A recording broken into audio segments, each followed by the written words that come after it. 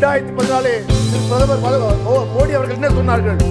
நாங்கள் ஆட்சிக்கு வந்தால் விவசாயிகளின் வருமானத்தை இரட்டிப்பு ஆக்குவோம் இரட்டிப்பு ஆனதா? இல்லையே. இன்றைய இன்றைய நிலையில் என்ன? பணவீக்கத்தால் விவசாய துறை விவசாயிகள் நிலைமை அழித்துக் கொண்டிருக்கிறது. நீங்கள் என்ன செய்கிறீர்கள்? அம்பானிகளுக்கும் அதானிகளுக்கும் டாடாஸுக்கும் வாராக்கடலை தள்ளுபடி செய்கிறீர்கள். இல்லை. எங்கள் வரிப்படத்திலிருந்து கொடுங்கள் என்று தமிழகத்தின் எதிர்காலம் திரு உதயநிதி ஸ்டாலின் அவர் கேட்டார். அவர் உங்கள் வீட்டு காசை கேட்கவில்லை உங்க அப்பா வீட்டு காசையும் கேட்கவில்லை என் வரிப்படத்தை தருகிறார் அதற்கு நமது நிதியமைச்சர் ஒரு பிரஸ் கான்பரன்ஸ் வைக்கிறார். ஒரு மணி நேரம் ஒரு மணி நேரம் எங்களை வசை பாடினார். இந்தியாவிலே மீடியை நீங்கள் என்ன சொன்னீர்கள் காங்கிரஸ் கட்சி குறிப்பாக மறைந்த இந்திராஜி அவர்கள் எமர்ஜென்சியை தவறாக பயன்படுத்தினார் அது பெரிய குற்றம். அந்த குற்றத்தை நாங்கள் செய்ய மாட்டோம் என்று சொன்னீர்கள் இன்று எமர்ஜென்சி போலவே நீங்கள் ஈடியை பயன்படுத்தி கிட்ட கிட்டத்தட்ட தொண்ணூத்தைந்து சதவீத வழக்குகள் யார் மீது இருக்கின்றால் எதிர்க்கட்சி மீதுதான் உங்களால் திரிக்கப்பட்டு வழக்குகள் போடப்பட்டு நீங்க அதே கொடுமை உங்கள் லாபத்திற்காக நீங்க செய்கிறீர்களா இல்லையா? இந்த ஐந்து ஆண்டிலும் நீங்கள் உங்கள் எலிபென்ஸ் கேட்பதை பற்றி நீங்கள் எதுவுமே செய்யவில்லை. இந்தியாவில் இந்தியாவில் தமிழ்நாட்டுக்கு அது குறிப்பாக சென்னைக்கு தேவையான இதை அதே போல் பார்த்தீங்கன்னா உலகத்திலே எங்கும் நடக்காத பிரதமர் இரண்டாயிரத்தி பத்தொன்பதிலே அடிக்கல் நாட்டினார் ஒரு செங்கலை இன்றைக்கும் மதுரை எய்ம்ஸிலே ஒரே செங்கல் தான் இருக்கிறது அந்த செங்கல் தவிர சுற்றி காம்பவுண்ட் வாலை கட்டியிருக்கிறார் ஒரு கொடுமை இல்லை என்றால் அவை தலைவர்கள்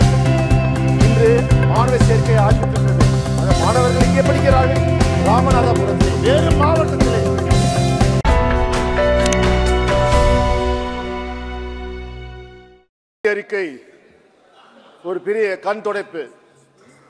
ஒரு மிகப்பெரிய ஏமாற்றத்தை தந்துள்ளது. குறிப்பாக ஏழை மக்களுக்கு இந்த நிதிநிலை அறிக்கை மூலமாக எந்த பயனும் இல்லை. ஒரு நிறைய எதிர்பார்ப்பு இருந்தது. அது குறிப்பாக நடுத்தர மக்கள் ஏதாவது வரி சலுகைகள் தருவார்களா? இவர்கள் ஆயிரம் பேசுகிறார்களே சத்தியங்களை வாரி வாரி வழங்குகிறார்களே கண்டிப்பாக நடுத்தர மக்களுக்கு ஒரு நல்ல செய்தி வரும் என்றால் நாமம் தான் வந்து. இந்த அரசாங்கத்தின் நிதிநிலை அறிக்கை- இடைநிலை அறிக்கையிலே செலவு எவ்வளவு தெரியுங்களா? நாற்பத்தி ஏழு லட்சத்தி அறுபத்தஞ்சாயிரத்தி எழுநூத்தி அறுபத்தெட்டு கோடி. ரெண்டாயிரத்தி ஆறு சதவீதம் சென்ற ஆண்டை விட அதிகம். இதில் இருபத்தைந்து சதவீதம் வெறும் வட்டிக்கு செலவிடுகிறார்கள். அவர்கள் வாங்கிய கடனுக்கு திருப்பி தர வட்டிக்கு இருபத்தி ஐந்து சதவீதத்தை அவர் தருகிறார்கள்.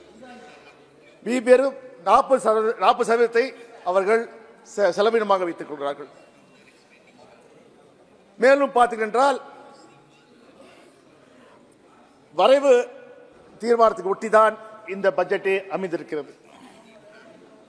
இது இந்த நிதிநிலை அறிக்கை பிரதான செலவுக்கு முன்னுரிமை கொடுத்து சமூக நலனுக்கு பின்னை பின் தள்ளியுள்ளது குறிப்பாக பார்த்தீங்கன்றால் சமூக நல சமூக நலன் திட்டங்களுக்கு ஏழு சதவீதத்தை இந்த மானியத்தை இந்த அரசு இந்த நிதிநிலை அறிக்கை குறைத்துள்ளது.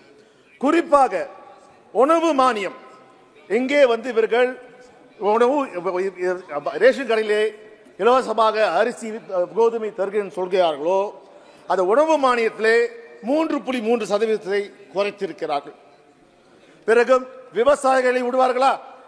விவசாயத்துக்கான உரம் மானியத்திலையும் பதிமூன்று புள்ளி இரண்டு சதவீதத்தை இந்த நிதிநிலை அறிக்கை குறைத்துள்ளது. மட்டுமில்ல பாதுகாப்பு மற்றும் சமுதாய சமூக பாதுகாப்புக்கு அத்தனையுமே இவர்கள் குறைத்துள்ளார்கள். ஆனால் இந்த நிதிநிலையை அறிக்கையை வெளியிட்ட மாண்புமிகு நிதியமைச்சர் எங்களுக்கெல்லாம் பெருமை. நாங்கள் நினைத்தோம் தமிழ்நாட்டை சார்ந்தவர் தமிழ்நாட்டில் பிறந்தவர் நல்லவர் வல்லவர் என்று நாங்கள் நினைத்தோம். ஆனால் அவர் வாயிலிருந்து வருவதெல்லாம் உண்மைக்கு அற்ற செயல்களாக தான் இருக்கின்றது. குறிப்பாக பார்த்தினால் இந்த இடைக்கால நிதி அறிக்கை ஏழைகளுக்காக இளைஞர்களுக்காக மகளிருக்காக விவசாயிகளுக்காக என்று சொன்னார்கள். பார்த்தீங்கன்றால் உண்மை நிலை என்ன? இங்கு பணக்காரர்கள் குறிப்பாக அம்பானி அதானி டாடா போறவர்கள் தான் பணக்கார் மேலும் மேலும் பணக்காராக ஆகியிருக்கிறார்கள். ஏழைகள் இன்னும் பரம ஏழைகளாக போய் போய்கொண்டிருக்கிறார்கள் இன்னும் சொல்ல போனால் இந்த அன்பானி அதானி டாடா சப் நிறுவனம் போன்றவர்கள் இருபது சதவீத பணக்காரர்கள் தான் இந்தியாவின் நாற்பது சதவீத வருமானம் அவர்கள்ட்ட தான் இருக்கிறது.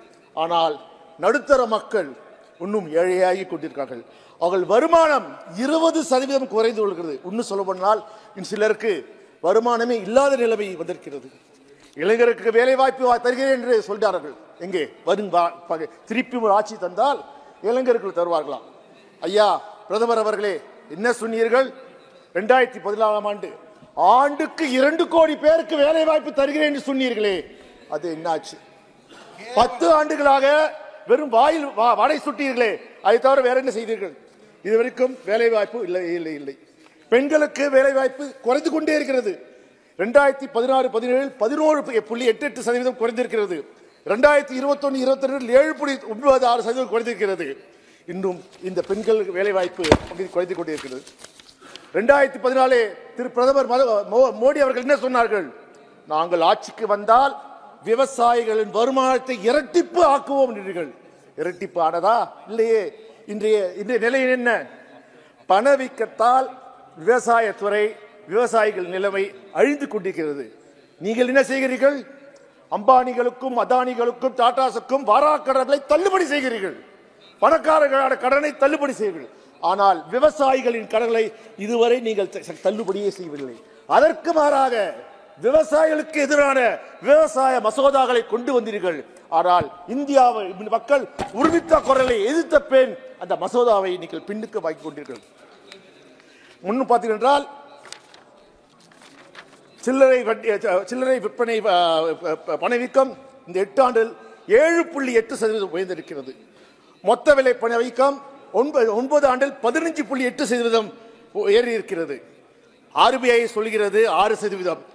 இது சில்லறை பணவீக்கம் ஆனால் நமது பணவீக்கம் ஏழு புள்ளி எட்டு போ- போயிட்டுருது அது அத்தியாவசிய பொருட்களின் விலை ஏறிக்கொண்டே இருக்கிறது. இந்த முப்பது வருஷம் முப்பது அதாவது முப்பது ஆண்டுகள் இல்லாத அளவிற்கு அத்தியாவசிய பொருட்கள் பணவீக்கம் ஏறிக்கொண்டிருக்கு. இந்த நிலைமை என்ன? அதாவது சேமிப்புகளை மக்கள் தங்கள் சேமிப்புகளை அவர்கள் பொழுது கழித்து கழித்து கொண்டு வருகிறார்கள். வேறு வழி இல்லை. எதுக்கெல்லாம் சேமி சேமித்து போயிருந்தார்களோ அத்தனையும் அவர்கள் என்று கொண்டு வருகிறார்கள் குறிப்பாக பார்த்தீங்கன்றால் இந்த பாஜக அரசு வந்த நாள் முதல் தமிழ்நாட்டுக்கு எதிர்ப்பான ஒரு அரசாகவே திகழ்ந்து கொண்டிருக்கிறது.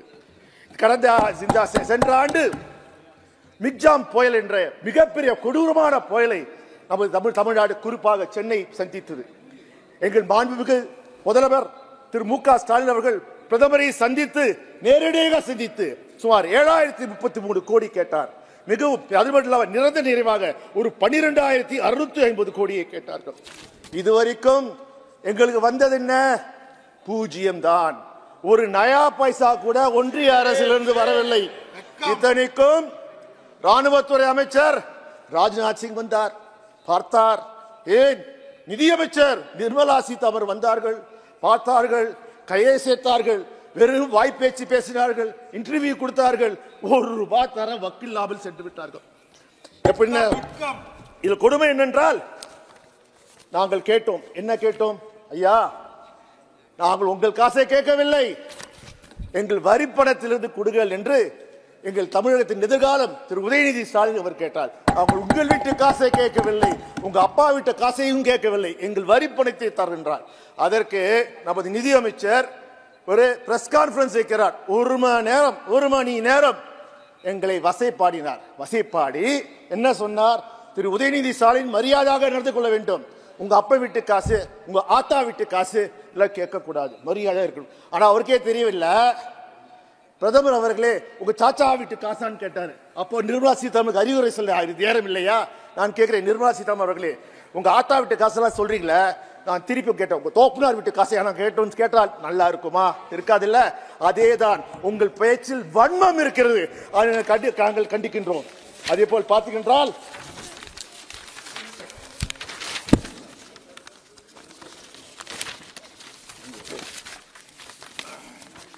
இந்த பாஜக அரசு வந்தவுடன் கடந்த பத்தாவது சாதனை என்று சொல்கிறார்கள். டிமானிட்டைசேஷன் பண மதிப்பிழப்பு கொண்டு வந்தார்கள். எதுக்கு கொண்டு வந்தார்கள்? மோடி அவர்கள் சொன்னார்களே பிரதமர் எனக்கு மூன்று மாதம் தாருங்கள். இந்தியாவிலிருந்து எடுக்கப்பட்ட கருப்பு பணத்தை அத்தனையும் நான் கொண்டு வரேன் என்றால் என்னத்தை கரு என்ன கருப்பு பணத்தை கொண்டு வந்தார்கள்? புதிதாக இரண்டாயிரம் ரூபாய் நோட்டை அறிமுகப்படுத்தினார்கள். ஐயா கேட்கிறேன் இங்கே இரண்டாயிரம் ரூபாய் நோட்டு எங்கே? ஏன் அதை எடுத்தீர்கள்? அப்போது நீங்களே தவறு செய்தீர்கள் அர்த்தம். பிறகு மாபெரும் உலகத்தை அழித்த கோவிட் வந்தது. கோவிட் 19 எப்படி இந்தியாவுக்குள் வந்தது? அதன் முக்கிய பொறுப்பே பாஜக தான். என்ன குஜராத் தேர்தலுக்காக நமஸ்தே ட்ரம்ப் என்ற நிகழ்ச்சியை குஜராத்திலே நடத்தினார்கள். அதற்காக அனைத்து விமான நிலையங்களையும் திறந்து வைத்தார்கள். அதன் மூலமாக கோவிட் வந்தது. அதை நீங்கள் நடத்தாமல் இருந்தால் பல ஆயிரக்கணக்கான உயிர்களை நீங்கள் காத்திருக்கலாமே. ஏன்? இன்னும் மேலே சொல்கிறேனே நீங்கள் இறந்த இறப்பு மதிப்பை கூட தவறாக தான் குறைத்து காட்டினீர்கள். அதுவும் குறிப்பாக சொல்ற பணவீக்கத்தால் மக்கள் கஷ்டப்படும் போது குறிப்பாக வெங்காய விலை ஏறிய போது இந்த அவையிலே நிதியமைச்சர் என்ன சொல்கிறார்? வெங்காயமா? விலை ஏறிச்சா? நான் வெங்காயம் சாப்பிடுவதில்லை. அதனால எனக்கு பத்தி தெரியவில்லை. என்ன அகங்கார பேச்சு போசுவா பேச்சு? அதாவது ஏழைகள் கஷ்டத்தை தெரியாமல் பணக்காரர்கள் மட்டும் ஆதரிக்கின்ற பேச்சு தானே பிறகு நாங்கள் கேட்டோம் இந்த கோவிடுக்கு பிறகு பெட்ரோல் விலையும் கேஸ் விலையும் ஏற்றிவிட்டீர்களே. பெட்ரோல் விலை நூறு ரூபாய் தொட்டு விட்டது டீசல் விலை நூறு ரூபாய் தொட்டு விட்டது கேஸ் விலை கிட்டத்தட்ட ஆயிரம் ரூபாய்க்கு வந்தது ரஷ்யாவில் நடக்கிற போரினால் அங்கு குறைந்த விலையிலே எண்ணெய் கிடைக்கிறது. அந்த எண்ணெயை யார் வாங்குகிறார்கள்? ரிலையன்ஸ் நிறுவனம் அதானி நிறுவனம் வாங்கி இங்கே இந்தியாவுக்கு கொண்டு வரவில்லை. வெளிநாடுகளுக்கு ஏற்றுமதி செய்கிறார்கள். அதனால் கொள்ளை லாபம் அடித்தார்கள் அந்த லாபத்திலே நமக்கு விலையை குறைத்திருக்கலாமே. நீங்கள் செய்யவே இல்லையே. ஆனால் என்ன செய்தார்கள்? இந்த பாஜக அரசு ஒவ்வொரு பெட்ரோல் பங்கிலும் ஒவ்வொரு ரயில் நிலையிலும் பிரதமர் ஒரு செல்ஃபி ஸ்டாண்டை வைத்தார்கள். அந்த செல்ஃபி ஸ்டாண்டுக்கு விலை எவ்வளவு தெரியுமா? ஆறரை லட்சம் ரூபாய். எதற்கு? பிரதமருடன் நான் போட்டு புகைப்படத்தை செல்ஃபி தேவையா? அந்த பணத்தை மக்களுக்கான பயனுள்ள வகையிலே நீங்கள் செலவழித்திருக்கலாமே? செய்யவில்லையே. அதனால் என்ன செய்வீர்கள்? இன்னும் சொல்ல போனால் நீங்கள் இப்பொழுது இந்தியாவிலே இடியை பயன்படுத்துகிறீர்கள். நீங்கள் என்ன சொன்னீர்கள்? காங்கிரஸ் கட்சி குறிப்பாக மறைந்த இந்திரா காந்தி அவர்கள் எமர்ஜென்சியை தவறாக பயன்படுத்தினார். அது பெரிய குற்றம். அந்த குற்றத்தை நாங்கள் செய்ய மாட்டோம் என்று சொன்னீர்கள். இன்று எமர்ஜென்சி போலவே நீங்கள் ஈடியை பயன்படுத்தி கிட்ட கிட்டத்தட்ட தொண்ணூத்தி ஐந்து சதவீத வழக்குகள் யார் மீது இருக்கின்றால் எதிர்க்கட்சி மீதுதான் உங்களால் திணிக்கப்பட்டு வழக்கில் போடப்பட்டு நீங்க அதே கொடுமை உங்கள் லாபத்திற்காக நீங்க செய்கிறீர்களா இல்லையா?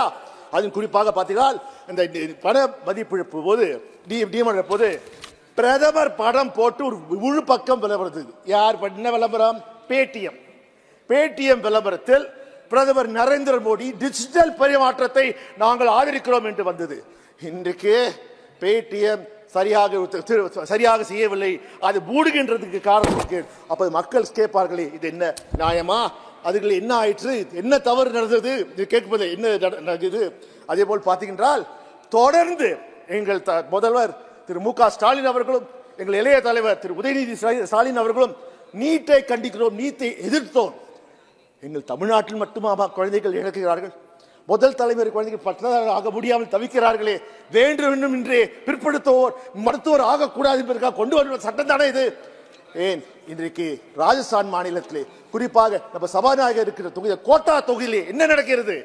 கோட்டா மாநிலத்திலே எவ்வளவு குழந்தைகள் தூக்கிட்டு சாவுகிறார்கள்? காரணம் நீங்கள் கொண்டு வந்த நீட் இதையாவது மனிதாபிமானத்துடன் இன்றாவது தமிழ்நாட்டுக்காகவும் ஏன்? இந்த கோட்டாவிலே படிக்கின்ற இளைஞருக்காக நீங்கள் செய்த வேண்டும் என்று நான் கேட்கிறேன். அதே போல் பார்த்தீங்கன்றால் ரெண்டாயிரத்தி பதினெட்டாம் ஆண்டு இதே நிதியமைச்சர் திரு- திருமதி நிர்மலா சீதாராமன் சென்னையில் வந்தார். அப்போது ஜெயலலிதா மறைந்து விட்டார். அதிமுகவை கைப்பற்றி அவர் முதலமைச்சராகலாம் முதல- முதலமைச்சர் ஆகலாம் என்ற ஒரு கனவு திட்டத்துடன் அப்பொழுது வந்தார். அப்பொழுது அவர் சொன்னார் நீட் வரும் இந்த ஆண்டு நீட் வராது. இந்த ஆண்டுக்கு மட்டும் நீட் விலக்குக்கு நாங்கள் முயற்சிக்கிறோம் என்று மக்களை ஏமாற்றினார்கள். அது மட்டும் ஆசிரியர்கள் நீங்கள் இந்த தமிழை வளர்க்கிறீர்கள். இப்போ பேசினார் முன்னால் பேசினாரே சோழர்கள் வளர்த்தார்கள். சோழர்கள் தமிழை வளர்த்தார்கள். எங்கே போனாலும் பிரதமர் தமிழ்நாட்டுக்கு வராங்க. தமிழ்நாட்டுக்கு வந்து தமிழில் பேசுகிறார் திருக்குறள் பேசுகிறார் இதே கர்நாடகாவுக்கு போனால் கர- கன்னடத்தில் பேசுகிறார் கேரளாவில் போனால் கேரளாவில் மலையாளத்தில் பேசுகிறார் ஆந்திராவுக்கு போனால் தெலுங்கில் பேசுகிறார் இந்த பெங்க- வெஸ்ட் பெங்கால் போனால் அங்கே போய் பெங்காலி பாஷையில் பேசுகிறார் அதாவது எங்கள் ஊரில் ஒரு சொல்லுவாங்க. அதாவது கோழி பிடிக்கிற வந்து பொ பொ கோ- கோழியை கூப்பிடுவானா கோழி நினைக்குமா? ஆஹா நம்ம மாதிரி பேசுறானே. நமக்கு நண்பர் நினைவான் அவனுக்கு அது தெரியும் அப்பதான் தெரியுமா? அவன் கோழியை வறுத்து சாப்பிடுவதற்காக அந்த கோழி பாஷையிலே பேசினான் என்பது. அதே போலதான் இங்கே நடந்து கொண்டிருக்கிறது. அதே போல் பார்க்கிறேன். குறிப்பாக நான் மிக கேட்பது the performance production link scheme என்ற ஸ்கீமை நீங்கள் வைத்திருக்கீர்கள் இந்த ஸ்கீம் மூலமாக பயன்பெறுகிறார் என்றால் பணக்கார முதலாளிகள் தான். குறிப்பாக எங்கள் திருப்பூரிலே பார்த்தீங்கன்றால் தொடர்ந்து நாங்கள் எங்கள் திருப்பூரிலே நாங்கள் கேட்டுக்கொண்டே வருகிறோம் இந்த ப்ரொடக்ஷன் லிங்க் ஸ்கீமை எங்கள் கொண்டு வருகிற கொண்டு கொண்டு வாருங்கள் என்று ஆனால் இது வரைக்கும் நீங்கள் பார்த்தீங்கன்றால் நீங்கள் கொண்டு வரவே இல்லை இன்னும் சொல்லவென்றால் there has been a large scale apathy towards MSMEs, especially textile industry in Tamil Nadu. For over two years, we asked you to pay attention to this. In 2022, our Chief Minister requested an emergency credit line guarantee scheme, MSME, in garment sector, particularly the Tirupur cluster in Tamil Nadu, which is a key foreign exchange earner for the country. The sector is undergoing a severe crisis and witnessing a sharp decline in month-on-month growth rate as a result of the economic impact of COVID-19, the Russia-Ukraine war, and the economic slowdown in the West. Lacks of job, particularly for the rural women who from a significant chunk of the workforce are in danger. We asked a PLI scheme and a special emergency credit line guarantee scheme for MSVs in the ga- garment sector with 20% additional collateral free, free credit, but, but got nothing. Last month, the Textile, uh, Textile Mill Association submitted a joint memorandum to Union Finan- Finance Minister ex- seeking extension of one-year moratorium for repayment of the principal amount, conversion of three-year loans under the emergency credit line guarantee scheme into six years term loans, and extension, extension of necessary financial assistance to reduce the stress of working capital. I wish and hope at least the finance minister heeds to this. அதே பார் பா- தல- அவைத் தலைவர்களே குறிப்பாக railway துறை மூலமாக எங்கள் தமிழ்நாட்டுக்கு எந்த பாவனும் வரவில்லை. நான் ரயில்வே துறை அமைச்சர் இங்கே அமர்ந்திருக்கிறார். நான் ரெண்டாயிரத்தி பத்தொன்பதாம் இருந்து கடந்த ஐந்து ஆண்டுகள் பலமுறை அவரை சந்தித்து கடிதம் மூலமாக கொடுத்து குறிப்பாக எனது தொகுதியில் எலிஃபென்ஸ் கேட் பிரிட்ஜ் நிலுவையில் இருக்கிறது. கிட்டத்தட்ட ஏழு ஆண்டுகளாக இந்த பணியும் முடியடையவில்லை. இந்த ஐந்து ஆண்டிலும் நீங்கள் உண்ட எலிஃபென்ஸ் கேட் பிரிட்ஜை பற்றி நீங்கள் எதுவுமே செய்யவில்லை. இப்படியாவது இனியாவது நீங்கள் இந்த எலிபென்ட் பிரிட்ஜ் செய்வீர்கள். தமிழ்நாட்டுக்கு அது குறிப்பாக சென்னைக்கு தேவையான இதை செய்வீர்கள் நம்புகிறேன். அதே போல் பார்த்தீங்கன்றால் உலகத்திலே எங்கும் நடக்காத ஆச்சரியம். பிரதமர் ரெண்டாயிரத்தி பத்தொன்பதிலே அடிக்கல் நாட்டினார். ஒரு செங்கலை வித்தார். இன்றைக்கும் மதுரை எய்ம்ஸிலே ஒரே செங்கல் தான் இருக்கிறது. அந்த செங்கலுக்கு தவிர சுற்றி காம்பவுண்ட் வாலை கட்டியிருக்கிறார்கள். ஒரு கொடுமை என்ன என்றால் அவைத்தலைவர்களே தலை- தலைவர்களே இன்று மாணவர் சேர்க்கை ஆரம்பித்து விட்டது. அந்த மாணவர்கள் இங்கே படிக்கிறார்கள். ராமநாதபுரத்திலே வேறு மாவட்டத்திலே போய் படிக்கிறார்கள். உண்மையில் பார்த்தீங்கன்றால் இதற்கு சிபிஐ பல வழக்குகளை போட்டிருக்கிறது. என்ன வழக்கு? கட்டமைப்பு இல்லாத நிறுவனங்கள் நிறுவனங்கள் எப்படி மாணவர்கள் சேர்க்கை செய்யலாம்? அவ்வாறு சேர்க்கை செய்தால் அது இந்தியா சட்டத்தின்படி குற்றம் இருக்கிறது. அப்பொழுது எய்ம்ஸ் கல்லூரி கட்டமைப்பே இல்லாமல் இன்னொரு கல்லூரி போனீங்களே அப்போ யார் மீது சிபிஐ வழக்கு போட வேண்டும்? ஹெல்த் அமைச்சர் சுகாதார அமைச்சரா பிரதமரா யார் மீது அவர்கள் வழக்கு போட வேண்டும்?